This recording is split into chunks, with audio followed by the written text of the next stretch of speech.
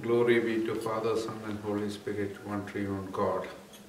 It gives me a great pleasure to greet each and every one of you at this time of this great feast of the resurrection of our Lord. This feast reminds us about the victory we have over death.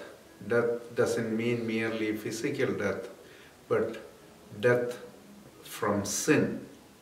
So, on if the Good Friday or the Great Friday reminds about us about the death, the resurrection reminds us about the victory over death. As faithful people of the Christian church, we believe that the greatness of the God's mercy will be victorious over the darkness of evil even in the midst of evil we see around us, whether it is around the world or around us in our immediate neighborhood. In the midst of all this, what makes us look forward to the future is the resurrected Christ who whose victory over death reminds us about the future victory of the good over evil.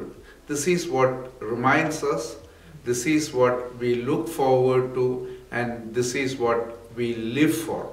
And this is what we have to express through our daily lives. So let this feast, the great feast, be a reminder for us for a life which we are called to live by. May God bless us all.